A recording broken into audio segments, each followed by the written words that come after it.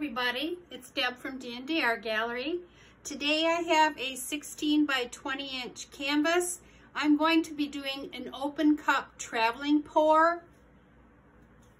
And this is just the top of a little uh, plastic cup. This is my favorite little tool I use when I do this pour. This is my favorite pour. Now I'm going to take a few minutes here to um, talk about pouring medium and paint I really want to gear this particular um, video for beginners. So my base coat is a combination of two parts of the Amsterdam Titanium Buff Light. I added one part of Deco Art Satin Enamel. And I will show you that. This is the nice color I got with that. That's going to be my base coat. My other paints I'm going to use are Modern Masters Venetian Blue, very pretty color. Modern Masters Pearl White.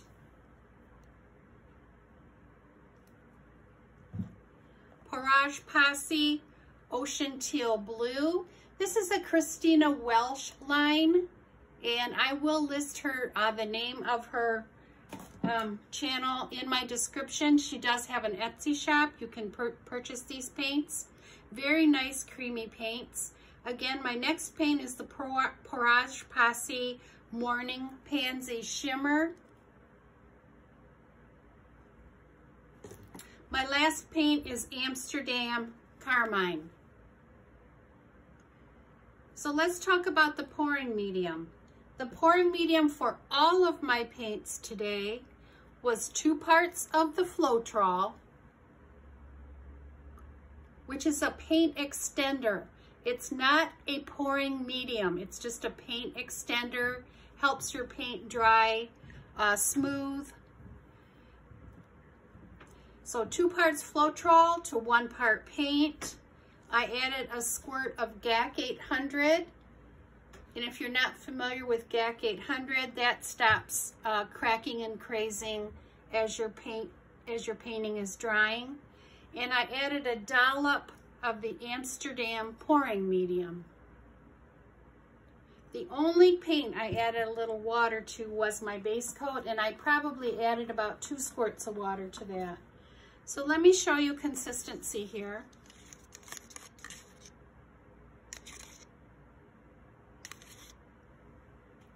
And what I'm gonna do is stop the camera. I'm gonna put down my base coat and then I'll bring you back and we can start painting.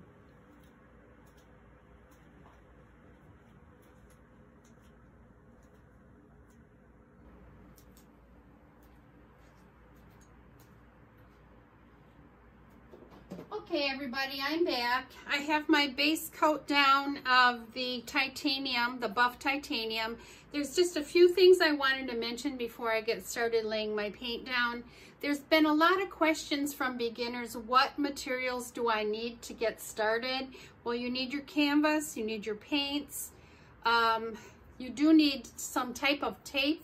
I tape the back rim off of my canvas. I use push pins. Here's a jumbo push pin and here's a, a regular size push pin. Either one of those would do. And you can get that online. And it help, it's helpful to have a torch. You can buy the, this online also. It's probably uh, maybe $20. Maybe you can get it even cheaper than that. I've had this one quite a while. And what does uh, the torch do?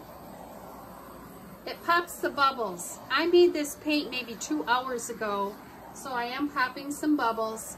If you can make your paint up the night before, that is helpful.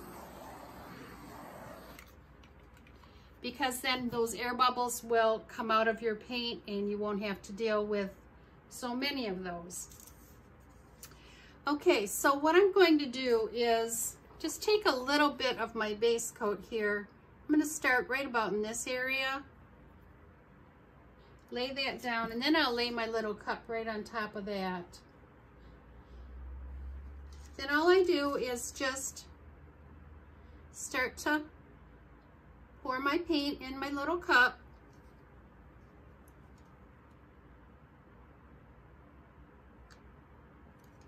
And also what I'll do, I should have done this first, is I put a little bit of this paint around my cup just to help it move.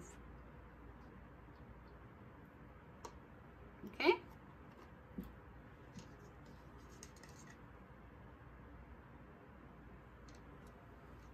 You can help your cup along if it's not moving, and you will see me do that here. And I have seen people do a, a dirty cup pour where they they layer all their paints in one cup and then they just pour that into their little traveling cup here. It's another way you can do this.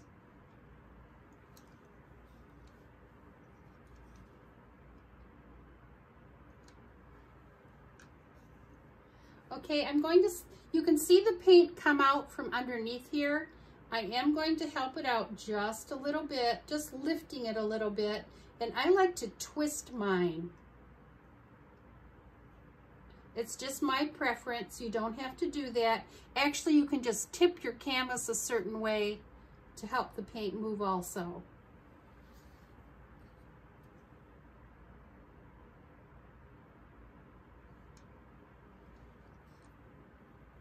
I'm just going to add a little more base coat here to help it move. The base coat that I laid down first was just a, a, a thinner, on the thinner side, because I knew I'd be adding these additional paints in here.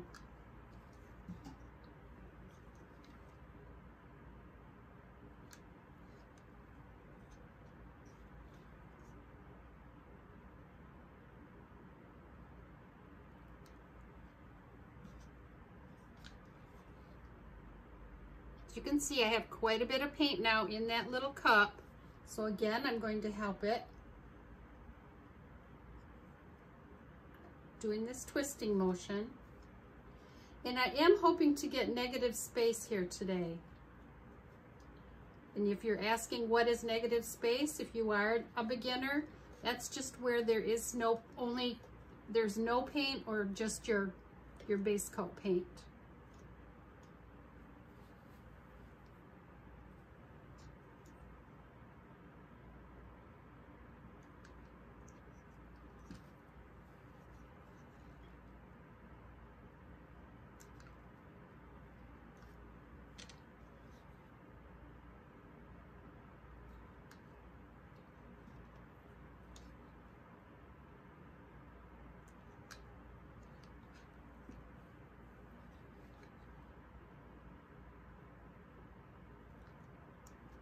Okay, I'm going to add a little bit of my base coat right up in this area to help it move. And I'm going to actually tip, I'll tip my canvas this time to show you how that works.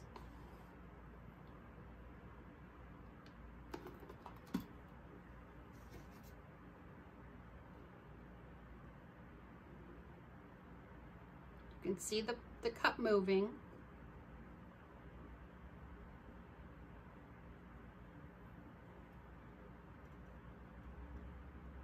I'm trying to guide it here a little bit.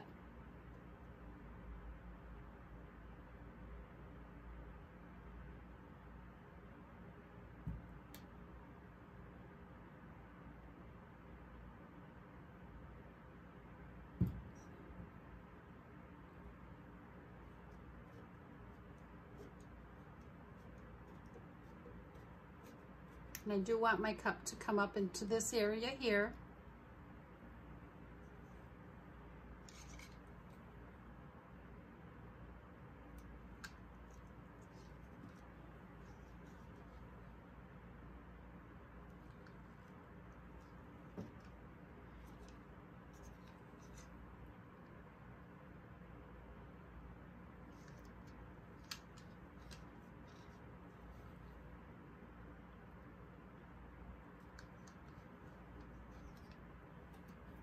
And again, I'll add a little bit of base coat up here.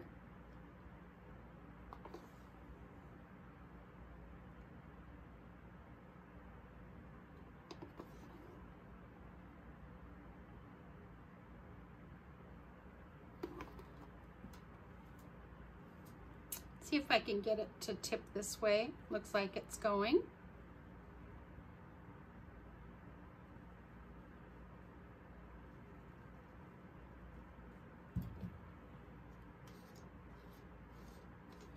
And I'm going to move it down this way.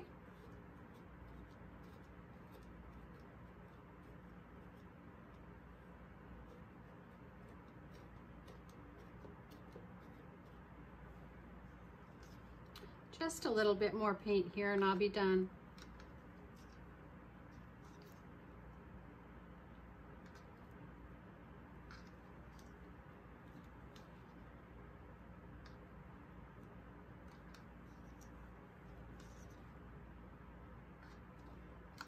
Okay.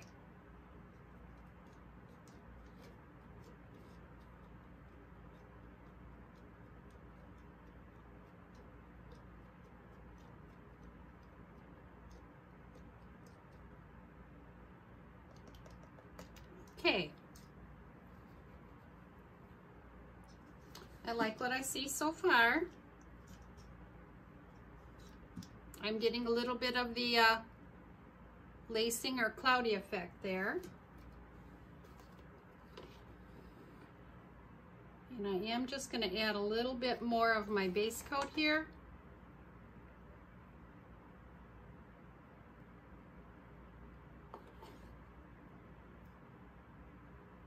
Just to help the paint move.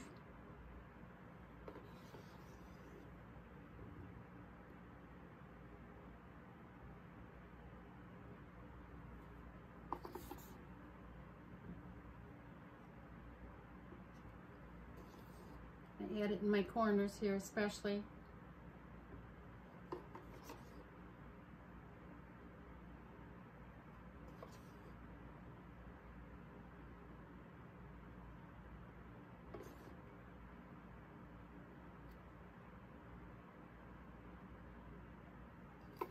Okay, I am going to give it a torch. You can see a lot of cell action coming up here.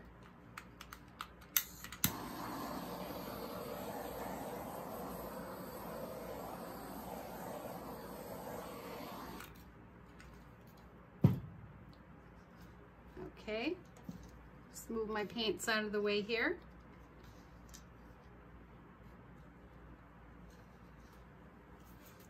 And I can start tipping. And I do hope that you get to see most of this, that it's in camera.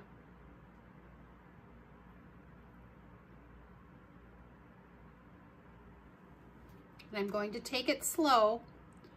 There's some areas that I really like right now that I would like to keep on the canvas.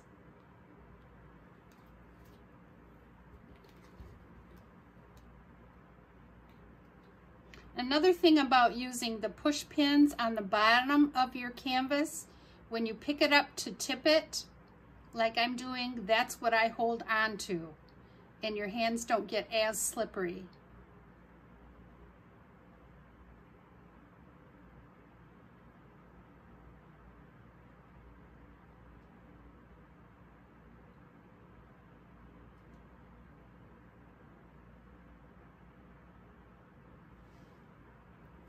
I'm going to bring it back now.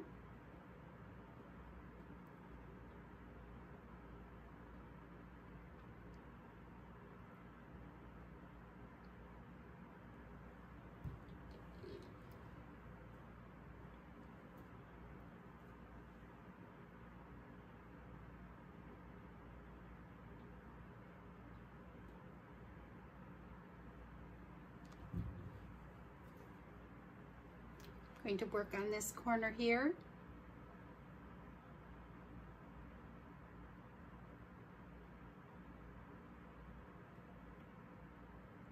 And this edge and bring it back.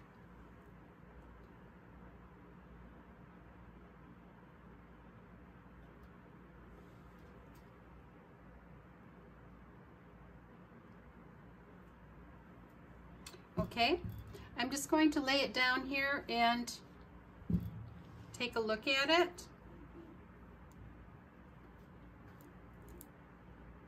See what I need to cover?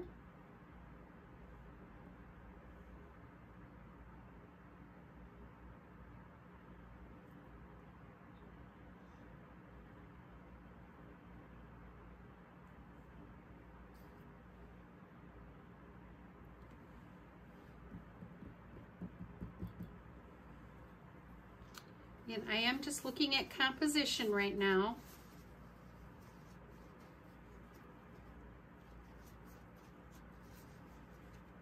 And I think I'm going to be able to take some paint off this way.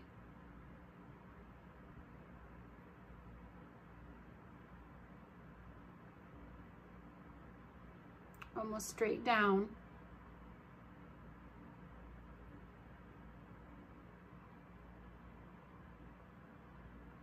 There is quite a bit of paint still moving, so I do have to take some of this paint off the canvas.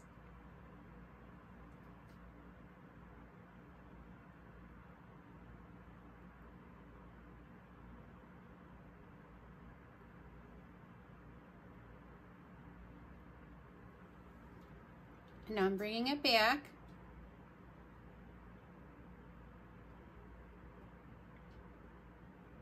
And I'm going to take quite a bit off of this down here. I, am not real um, crazy about this corner down here, so I'm gonna run some of that paint off.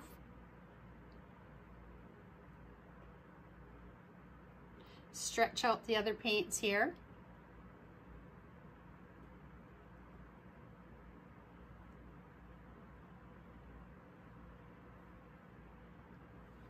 And bring it back. And I'm going to take another look at it here. See what's going on. Using that satin enamel, let me get my hands cleaned off here, is giving me this effect right here. And also this in here, that cloudy effect there. Those are the areas I really do like. I'm going to try and stretch this to this corner a little bit. Just pulling out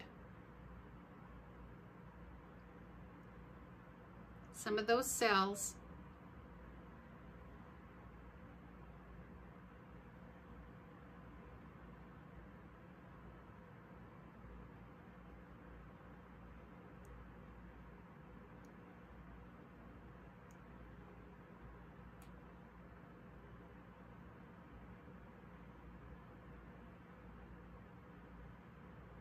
And then bringing it back.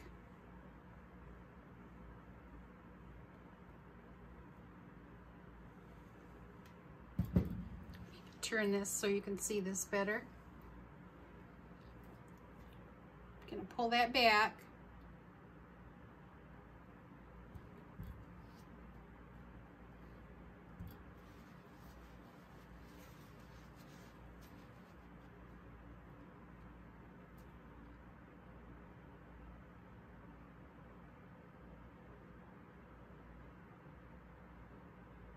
Stretch it back out again.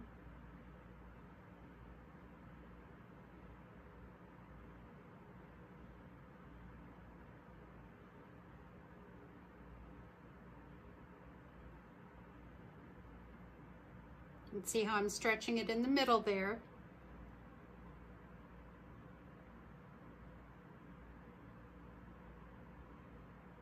And again, I don't really care for a lot of what's going on in this corner. So I am going to bring it down this way and pull some of that paint off.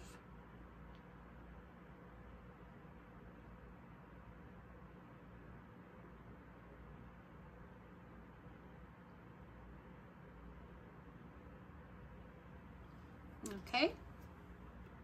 And now I will pull it back.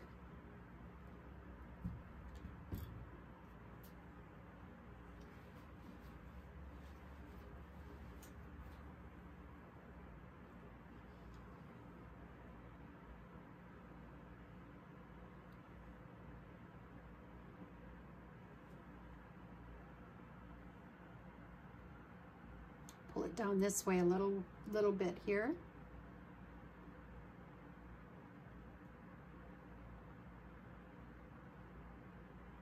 Okay, I'm going to take a look at it now.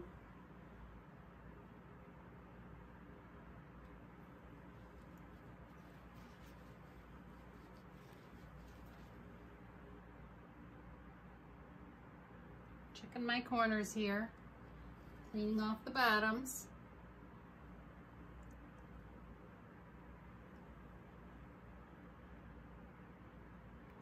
Some very, very pretty colors coming out here today.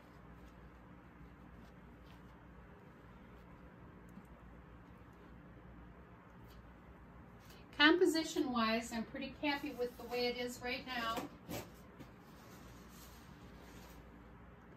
I think I will give it a torch.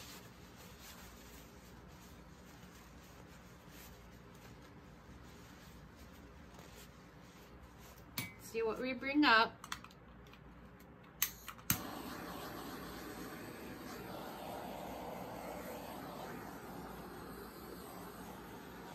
A lot of really nice movement in this painting.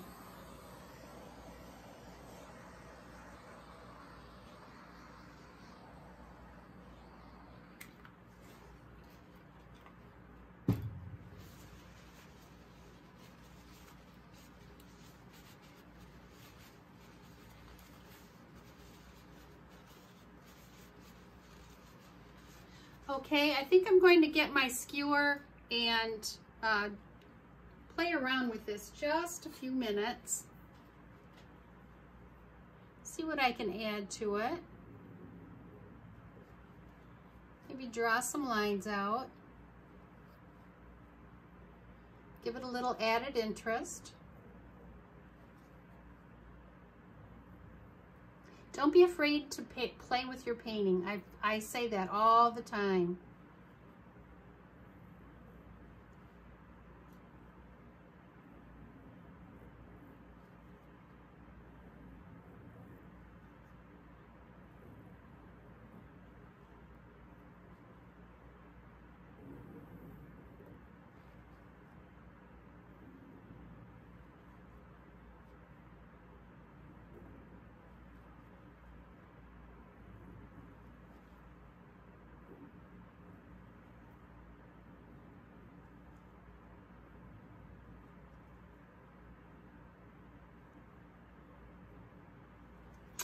Okay, I think I'm going to get you down for a close-up. You can tell me what you think.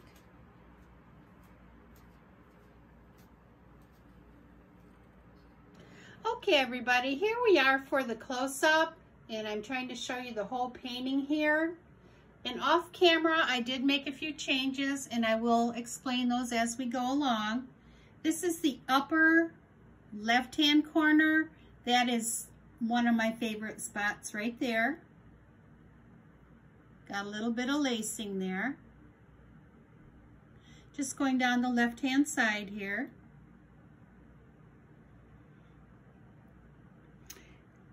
And by using that satin enamel, it did give quite a few different effects. One of them being these little white spots that pop up. And also off camera, I added a little bit more of that carmine here and there. And this streak right there I did add that. This is the lower left-hand corner. And we'll just go up the whole painting here.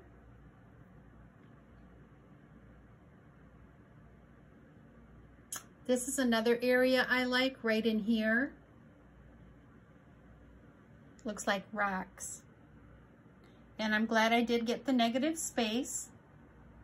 Again, I added some more of the carmine here. You can see as we go down. Just to add a little more interest to the painting.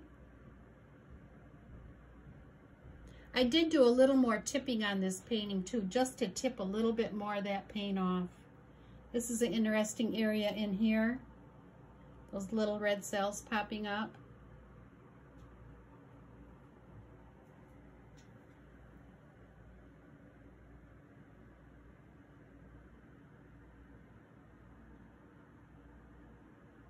And here I did add a little bit more of that carmine. This is the upper right-hand corner, and this is probably my favorite part of the whole painting. Right in here, as simple as that is. I just like the effect I got there. Again, a lot more of those little white spots from that satin enamel.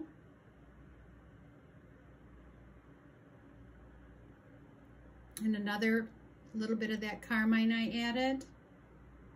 And this is the lower right-hand corner. So let me know what you think of this video. If you have any questions at all at how, on how I did any of this, please leave them in the comments and I will get back to you with some answers. I hope this was a good video for beginners that want to do the uh, open cup traveling pour. If you liked my video, please give me a thumbs up and make sure you share it. If you'd like to subscribe, if you haven't, please consider that. and help my channel grow. And until next time, take care, everybody. Thank you for watching. Bye for now.